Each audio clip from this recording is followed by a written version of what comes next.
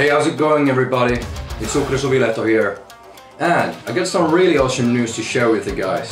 And that is, I'll be joining the band Whispered as a filling session live drummer for the upcoming European tour with Wintersun. It's going to be a massive tour of 5 weeks, in 17 countries and 26 cities. So please check out the dates, get your tickets and see you at the shows. It's gonna be killer.